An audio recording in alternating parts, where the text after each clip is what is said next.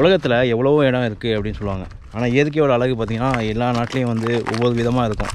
ஆனால் இங்கே நான் இருக்க எத்தியோப்பியா ஜலோலில் பார்த்திங்கன்னா வந்து உலக அதிசயம் உலகத்தில் இப்படி தான் இருக்கா ஒரு இடம் அப்படின்றது எனக்கே பார்க்கறதுக்கு ரொம்ப ஆச்சரியமாக இருக்குது உங்களுக்கும் பார்க்கறதுக்கு வித்தியாசமாக தான் இருக்கும்.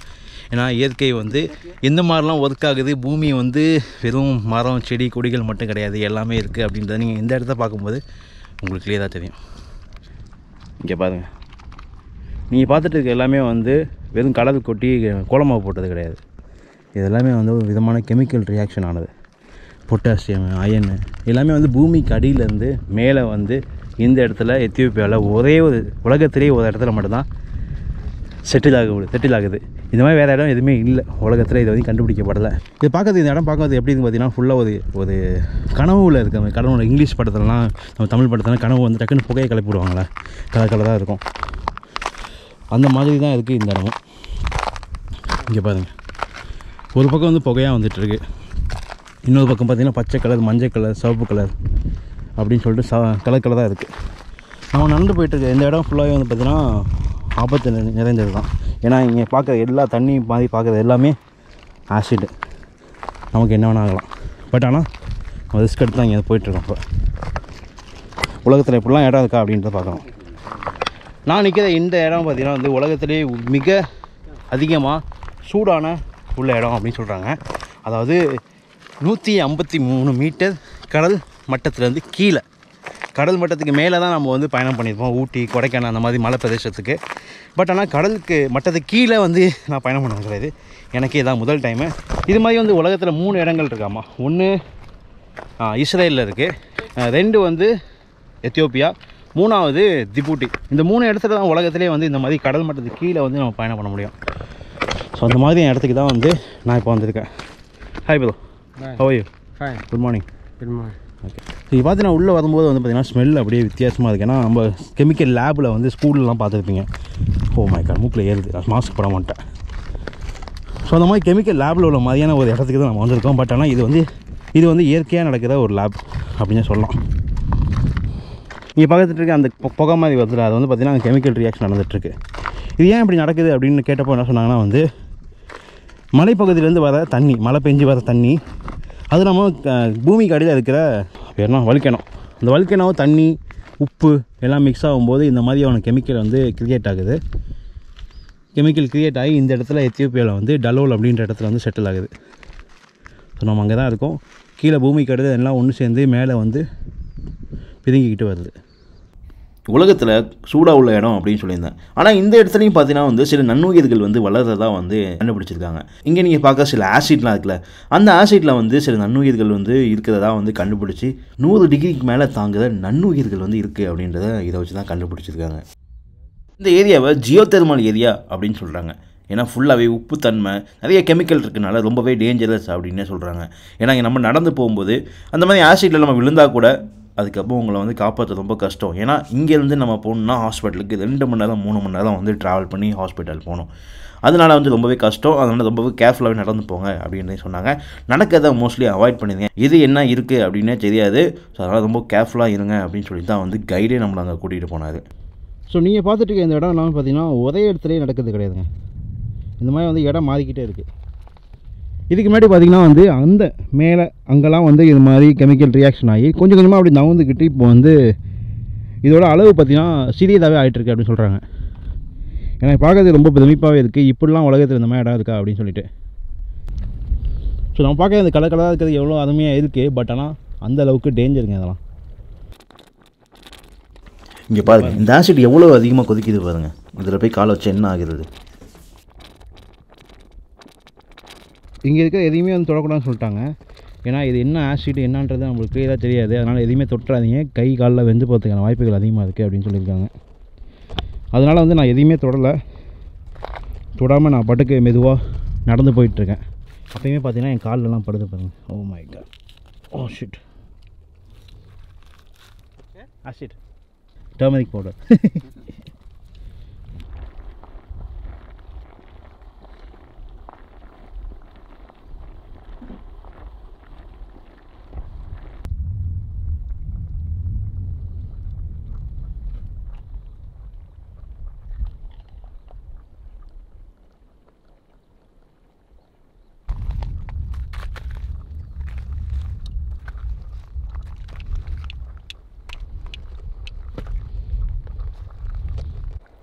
இப்போ நான் நின்றுட்டு இந்த இடத்துல பார்த்தீங்கன்னா வந்து செம்ம சூடாக இருக்குது கொதிக்குது.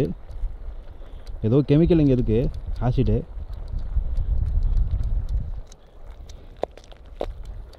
சவுண்டு நீங்கள் கேட்கும் போது தெரியும் உள்ளே வந்து கொதிச்சிட்டு இருக்கிறத. ஆனால் வெளியில் எந்த ரியாக்ஷனும் இல்லை. சவுண்டு மட்டும் கேட்குது நீங்கள் சிவப்பு கலரில் பார்த்துட்ருக்கீங்களா இதெல்லாமே வந்து அயன்னு சொல்கிறாங்க பச்சை கலரில் பார்க்குறது சல்ஃபர்னு சொல்கிறாங்க பொட்டாசியம்னு சொல்கிறாங்க எல்லாமே ஒன்றா மிக்ஸ் ஆகிருக்குன்னு சொல்கிறாங்க அதான் மிக்ஸ் ஆகிறனால தான் வந்து இந்த அளவுக்கு கெமிக்கல் ரியாக்ஷன் வந்து நடக்குது அப்படின்னு சொல்கிறாங்க உலகத்தில் என்ன மாதிரிலாம் இருக்குது அப்படின்றத பார்க்கும்போது உங்களுக்கு தெரியும். உலகத்தில் இந்த மாதிரி அழகான இடங்கள்லாம் கலர்ஃபுல்லாக பார்த்துருக்க மாட்டோம். என்ன தான் கலர்ஃபுல்லாக இருந்தாலுமே அதில் நிறைய விஷயங்கள் வந்து ஆபத்தானதாக இருக்குது நம்ம இதில் நடந்து போகும்போது பார்த்து தான் போகணும். நீங்களும் இந்த பக்கம்லாம் வரணும்னு நினச்சிங்கன்னா பார்த்தே போயிட்டு வாங்க. ஆனால் நாங்கள் இங்கே போன டைம் பார்த்தீங்கன்னா காலையில் அஞ்சு மணி. அதனால தான் வந்து லைட்டாக இருட்டாக இருக்கமே பார்க்குறீங்க பட் அன்னைக்கு அந்த டைம்லேயே பார்த்தீங்கன்னா வந்து செம்ம சூடாக இருந்தது. மதியான டைம்லலாம் வந்தோம்னா சுத்தமாக நிற்கவே முடியாது. ஸோ அதனால தான் வந்து உலகத்திலே வந்து ரொம்ப சூடான இடம் அப்படின்னு சொல்கிறாங்க குளிர்காலத்துலேயும் பார்த்தீங்கன்னா வந்து நாற்பத்தஞ்சு டிகிரி குறையாமல் இருக்கும் அப்படின்னு சொல்கிறாங்க குளிர்காலத்துலேயும் பார்த்தீங்கன்னா வந்து நாற்பத்தஞ்சு டிகிரி குளிர் நாற்பத்தஞ்சு டிகிரி கிட்ட வந்து குறையாமல் இருக்கும் அப்படின்றும் ஆராய்ச்சியாளர்கள் சொல்கிறாங்க முடிஞ்ச அளவுக்கு சீக்கிரமாக வந்து வீடியோலாம் எடுத்துட்டு கிளம்பிடுங்க ஏன்னா இதுக்கப்புறம் வந்து நிற்க முடியாது. ரொம்பவே சூடாகிடும் அப்படின்னு சொல்லி கைடு சொல்லிட்டாரு. அதனால் முடிஞ்ச அளவுக்கு வேகமாக வீடியோலாம் எடுத்துகிட்டு அதுக்கப்புறம் அங்கேருந்து கிளம்பணும். ஏன்னா நாங்கள் நிற்கும் போதே வந்து செம்ம சூடாக இருந்துச்சு. பத்து மணி பதினொன்று மணிலாம் ஆச்சுன்னா முடிஞ்சுன்னே சொல்லலாம்.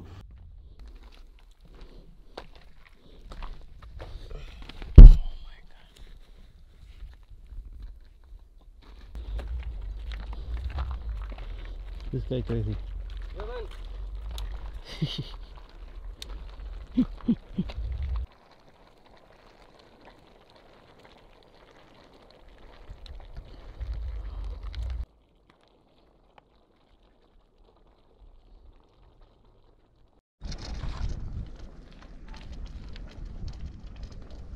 நீங்கள் வந்து கடல் மட்டத்துக்கு கீழே இப்படி இடம் அப்படின்ற பார்க்கும்போது மட்டும்தான் நமக்கு தெரியுதே தவிர கடலுக்குள்ளே இன்னும் ஆராய்ச்சி அந்த அளவுக்கு பண்ண ஸ்டார்ட் பண்ணல. கடலுக்குள்ளே ஆராய்ச்சி பண்ணாங்கன்னா இன்னும் இது மாதிரி ஏகப்பட்ட இடங்கள் வந்து நம்மளால் கண்டுபிடிக்கிறதுக்கான வாய்ப்புகள் இருக்குது பட் ஆனால் அது சாத்தியமாக இன்னும் ஆகலை. சீக்கிரம் ஆணுச்சுன்னா இந்த மாதிரி நிறைய விஷயத்த வந்து உலகத்தில் இருக்கா அப்படின்றத நம்மளால் பார்க்க முடியும். இன்றைக்கி என்னோடய கடைசி நாள் இந்த ட்ரிப்பில் இதுக்கப்புறம் நான் இங்கேருந்து அடிசபாபா போயிடுவேன் வரிசையாக ஒரு நாலு நாட்கள் வந்து வித்தியாசமான அனுபவம். ஹோட்டல் கிடையாது. ஏசி கிடையாது. ஃபேனு கிடையாது. எதுவுமே இல்லாமல் வித்தியாசமான அனுபவத்தில் வந்து ரொம்ப நாள் கழிச்சு தங்கியிருந்தேன். நேற்று நைட்டு பார்த்தோம்னா வந்து வானத்தை பார்த்துக்கிட்டே வந்து கட்டில் போட்டு தூங்கிட்டு இருந்தேன். இங்கே இடம் இருக்குது ஐயோ அந்த மக்கள் பார்க்கறதுக்கு ரொம்ப வித்தியாசமாக இருக்காங்க. நம்ம தமிழ்நாட்டு மக்கள் எப்படி இருந்தாங்களோ முன்னாடி அதே மாதிரியே இருக்காங்க. எனக்கு பார்க்க ரொம்ப ஆச்சரியமாக இருக்குது யாராவது தமிழர்களை பற்றி ஆராய்ச்சி பண்ணிட்டு இருந்தீங்கன்னா உங்களை இடம் உங்களுக்கு இந்த இடம் வந்து ரொம்பவே யூஸ்ஃபுல்லாக இருக்கும். தலோல்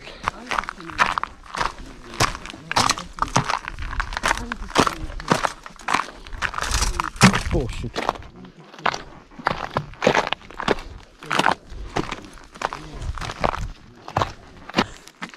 ஏதோ விண்வெளியில் செவ்வாய் கிரகத்தில் போயிட்டுருக்க மாதிரி இருக்குது இந்த இடம்.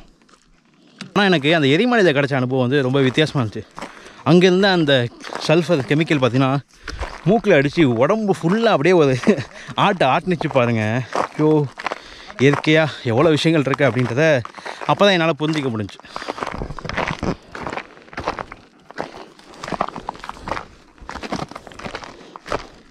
இந்த சீரீஸ் வந்து உங்களுக்கு கண்டிப்பாக பிடிச்சிருக்கும் அப்படின்னு நம்புகிறேன் எனக்கு வித்தியாசமான அனுபவம் கொடு- கொடுத்தது.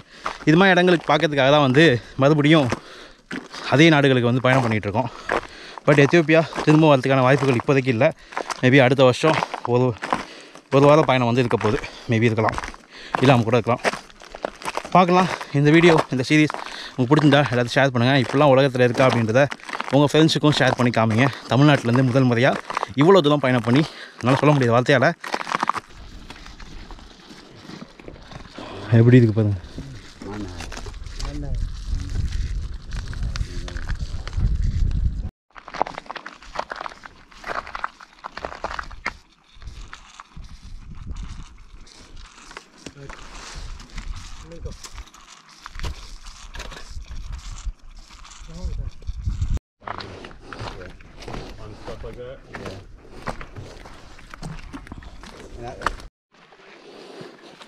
இங்கே பாருங்கள் போட்டிருக்கு. கடல் மட்டத்துலேருந்து நூற்றி இருபத்தஞ்சி மீட்டருக்கு மேலே இதுக்கு தான் டலோல் அப்படின்ற ஏரியா. அஃப் அஃபா ரீஜனில். லேண்ட் ஆஃப் ஆர்ஜின்ஸ்னு போட்டிருக்கு பாருங்கள் ஆக்சுவலாக நான் சொன்னது வந்து கடல் மட்டத்துக்கு கீழே வந்து ட்ராவல் பண்ணிட்டுருக்கோம் அப்படின்னு சொன்னல இங்கே பாருங்கள் கடலுக்குள்ளே தான் நிற்கிறேன் நான் ஃபுல்லாக பார்த்தீங்கன்னா கடல் தான் அது. நம்ம உஸ்பெகிஸ்தானில் போன மாதிரி. இங்கே பார்த்தீங்கன்னா ரெண்டு லாரி வந்து மாட்டிக்கிச்சு. லாரி வந்து உப்பு அங்கேருந்து எடுத்துகிட்டு வந்து இங்கே ஏற்றிட்டு இருக்காங்க. மண்ணில் மாட்டிக்கிச்சு. அதனால் வந்து நாங்கள் நிப்பாட்டி ஹெல்ப் பண்ணுறோம் இங்கே எவ்வளோ மக்கள் இப்படி தான் வந்து வாழ்கிறாங்க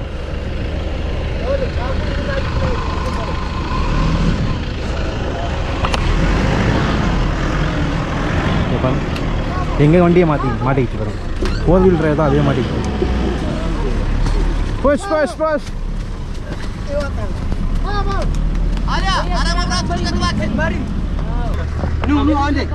அழுந்துருச்சு இப்போ திரும்ப வந்து மாட்டி எடுக்க போகிறோம் ஒருத்தர் ஒருத்தர் தின்னு சீட்டி ஓகே கத்த ஃபரே தர so come this way bro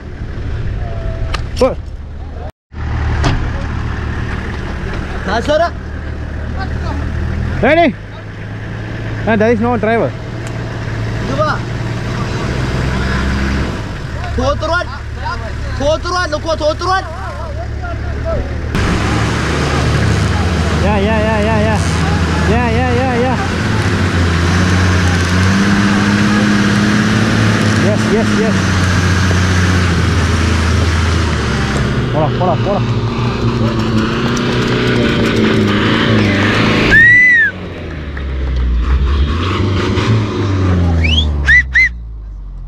Good job.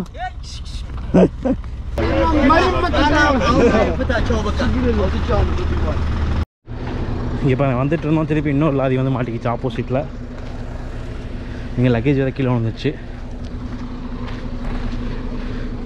பின்னாடி பார்த்தா ரெண்டு ட்ரைலர் இருக்குது அதனால தான் மாட்டிக்குது மண்ணாக இருக்குது ஃபுல்லாக அதனால் நாங்கள் அங்கேருந்து கிளம்பி டேரெக்டாக டலோல்லேருந்து ஸ்ட்ரைட்டாக சிமேரா போயிட்டோம். சிமராலேருந்து நான் இன்னொரு ஃப்ளைட் எடுத்து அடிஸ் அபாபா போயிட்டேன். ஏன்னா சிமரா வரத்துக்கே பார்த்தீங்கன்னா ஒன்பது மணி நேரம் கிட்ட ஆயிடுச்சு.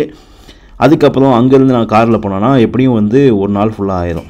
ஸோ அடுத்தது பார்த்தீங்கன்னா எத்தியோப்பியா விட்டு கிளம்ப போதும் அடுத்து ஒரு புதிய நாட்டிலேருந்து சந்திக்கிறேன். இந்த வீடியோ பிடிச்சிருந்தா லைக் பண்ணுங்கள் ஷேர் பண்ணுங்கள் இந்த எத்தியோப்பியா சீரிஸ் வந்து கண்டிப்பாக உங்களுக்கு வித்தியாசமாக இருந்திருக்கும் அப்படின்னு நம்புகிறேன் ஸோ உங்களை அடுத்த வீடியோ பார்க்குறேன். சிஓ பாய் ஃபம் போனி பீஸ் கைஸ் அடுத்த சீரீஸில் பார்க்கலாம். ஸோ கைஸ் வீடியோ டிஸ்கிரிப்ஷனில் இருக்க லிங்க்கை ஃபாலோ பண்ணுங்கள் ஒரு லட்ச ரூபாய் மதிப்புள்ள அமௌண்ட்டை டெமோ அக்கௌண்ட்டில் போயிருங்க அது இல்லாமல் தமிழ் தேர்ட்டி அப்படின்ற கூப்பன் கோடை யூஸ் பண்ணுங்கள் முப்பது சதவீதம் உங்கள் டெபாசிட்டில் போயிருங்க